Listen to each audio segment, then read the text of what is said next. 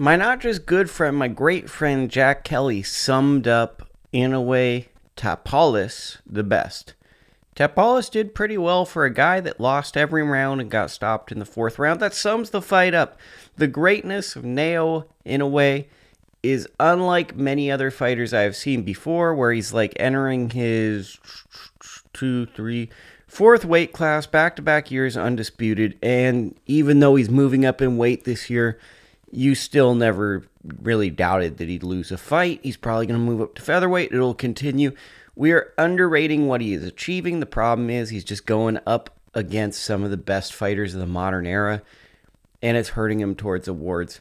Naoya Inoue, you had to wake up on the West Coast at 3 a.m. to see the sensational performance. Was it worth it? Probably, but if you just caught the highlights, that's okay too. Just be aware he's fighting and he's friggin' good.